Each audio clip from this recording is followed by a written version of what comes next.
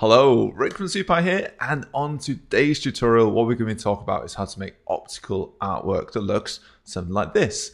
Now we're going to be using a program called KodeLife, and we're going to be writing some code from scratch using OpenGL shaders. Now this artwork I didn't make up. This is actually inspired by another artist. This artist, uh, Bridget Riley, born in London in 1931, she used to do this by hand with actual paint and the art that she made was really big. This piece is actually a meter and a half wide by a meter and a half tall and it's called fall. So we're going to basically recreate this using code. So what we're going to do in this tutorial is paint with code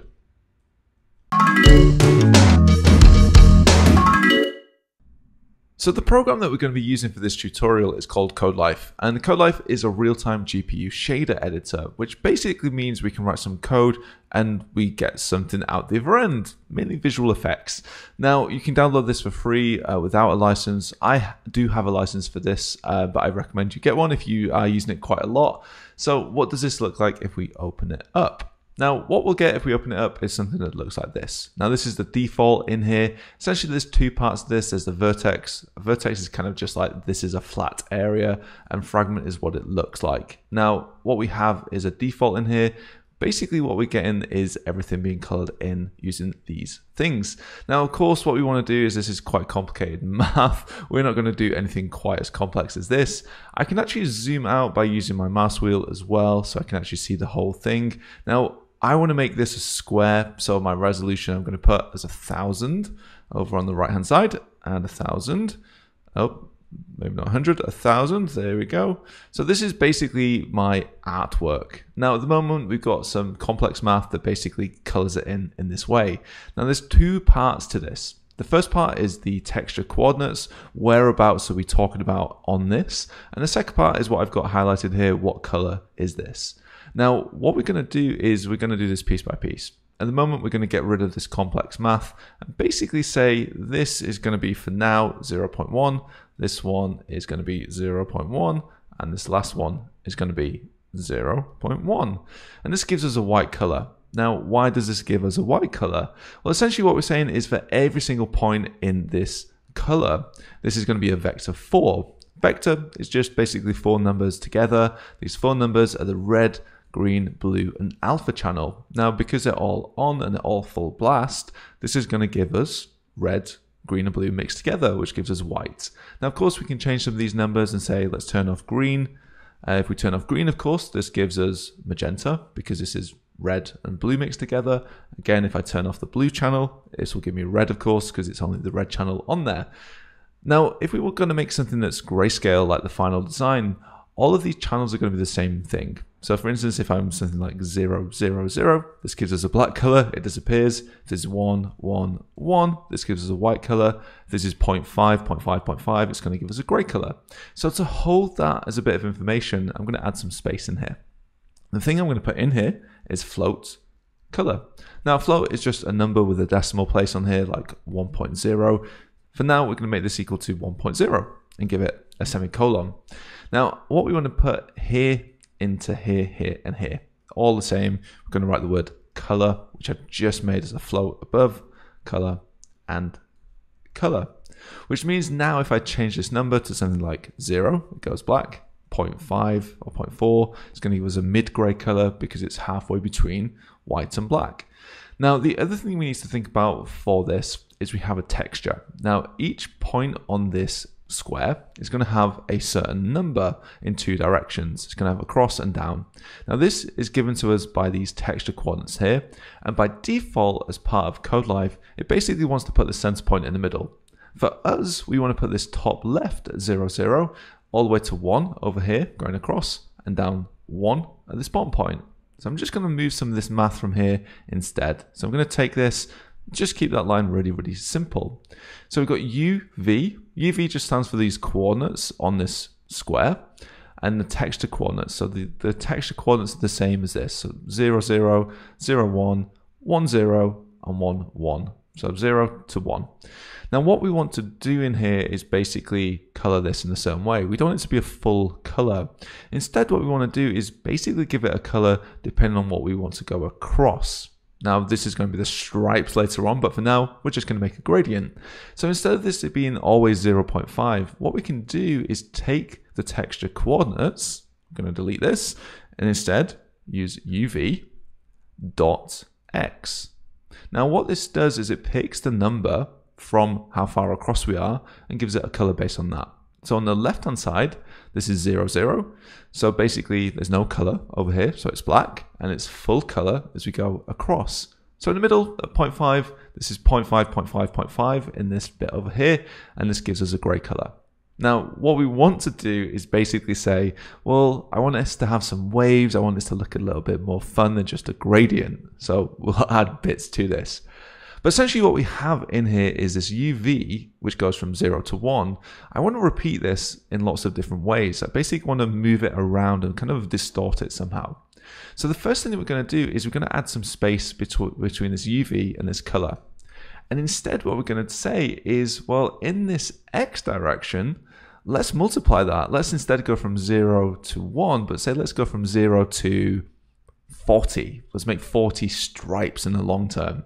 So we're going to do uv dot x, and then we're going to multiply this to be equal to 40.0. And this is going to have a semicolon on here.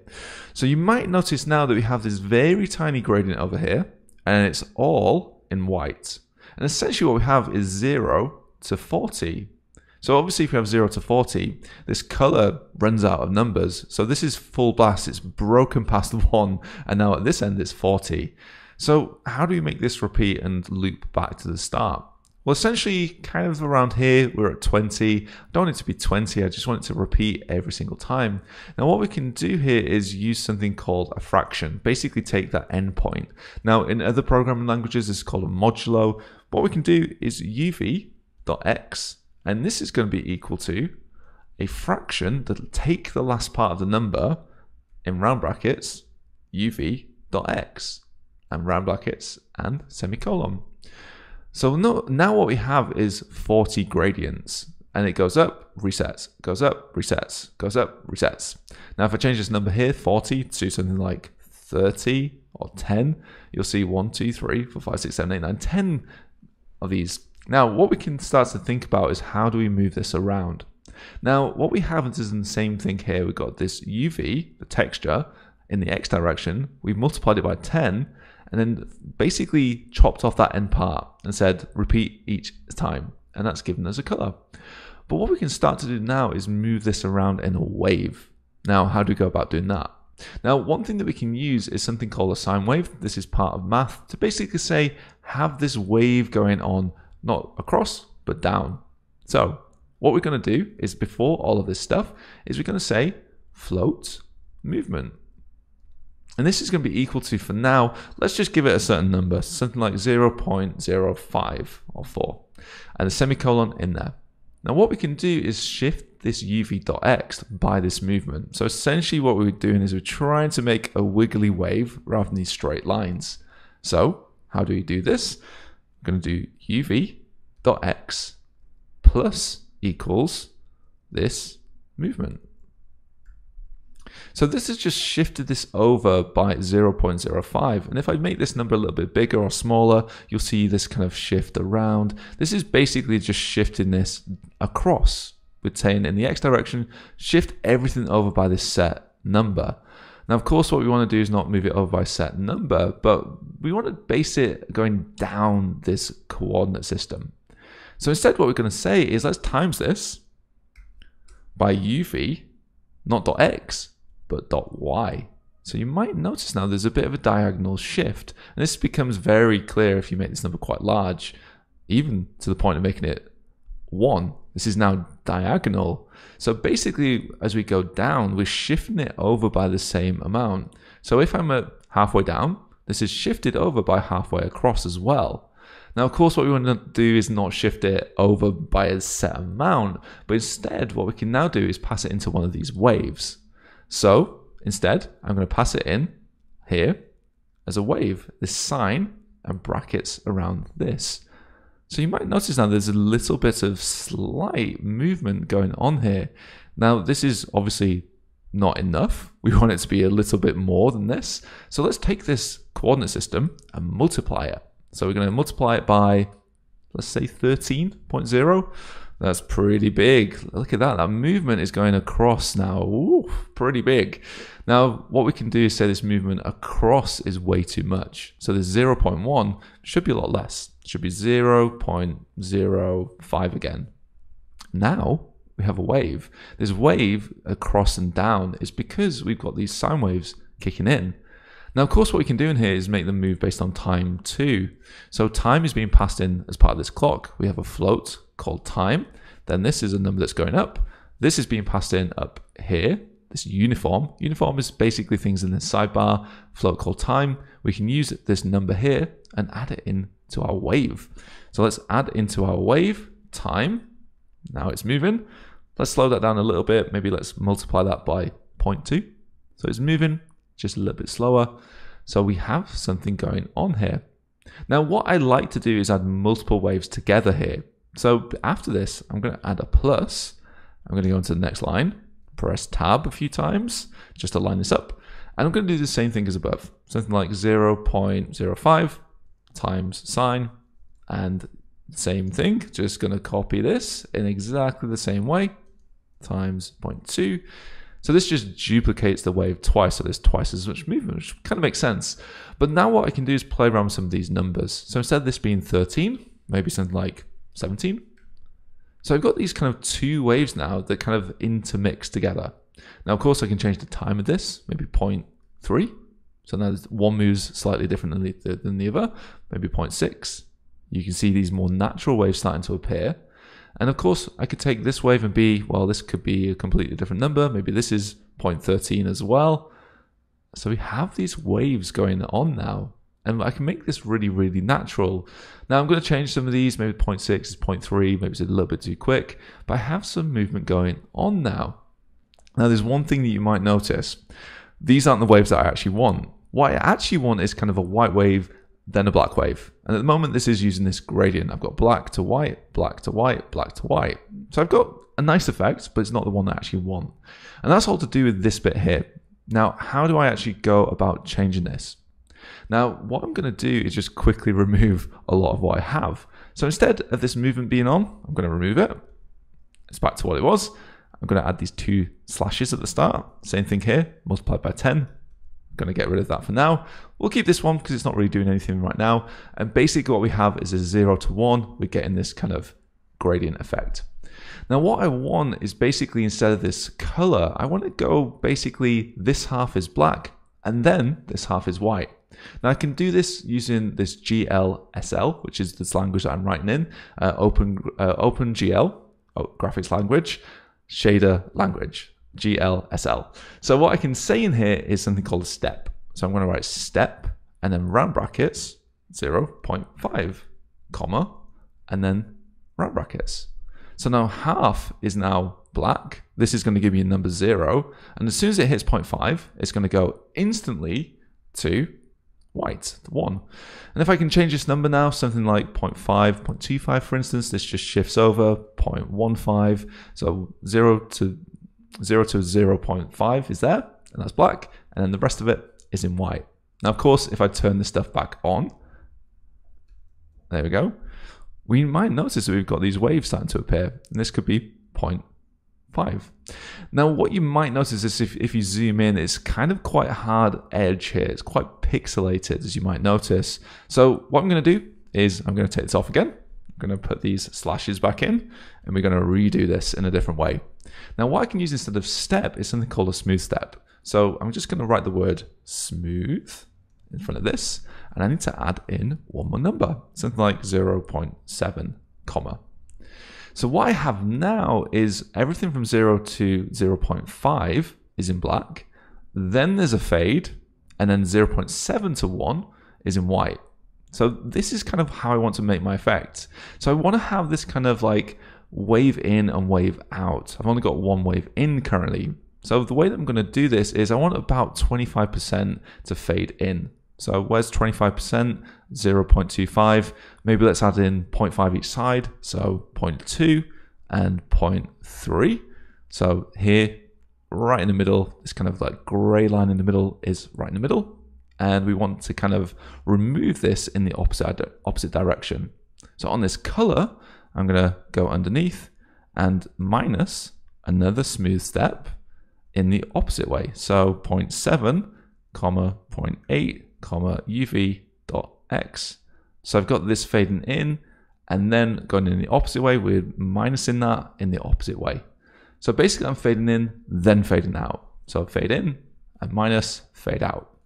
And now what I can do is remove these lines and say, let's uncomment that back in. So we're getting some movement on these gradient effects. And how many do we want? We want 10 in here. Now in the final one, what we could say is something like 40. So we have something that looks a little bit more like that. So in the final version of what we have, we want this kind of top area to be not as much movement as the bottom area. So again, what we can do is say, well, on this movement, this top area, which is currently zero, and this is at the bottom is one, because we're not multiplying it by anything right now, is we want to basically multiply this. So we can say this multiplied by uv dot y. And we can see now this kind of movement is going more increase as we get down. So this at the top is zero, there's no movement at all. As we get down to the bottom, it goes to one and it gets more extreme. Now, one thing that we can also do in here, just to make it a little bit more extreme, is say, maybe we will take this number and make it go to the power of something. So around this, I'm gonna add the power, P-A-W, comma, 2.0 to the power of 2 to get this kind of more extreme effect. I can play around with some of these numbers, 0.5 for instance, that feels pretty good. And I can start to play around with some of this very, very quickly. Now, what we have now is pretty much what the final design is meant to look like. But what I can start to play around with is maybe I don't want it to be black and white. So how do we actually fix this to not be black and white? Now, we've got this kind of color scheme here, which gives us basically a number between 0 and 1. But essentially what we want to do is mix it between two colors. So below this, I'm going to add in something extra. This is just a little extra thing we're going to add in. A vector 4 is going to be a color 1. Now let's make this just a normal vec 4 with red channel on, no green, no blue, but full alpha. And let's make a vector 4, color 2 is vector 4 with no red.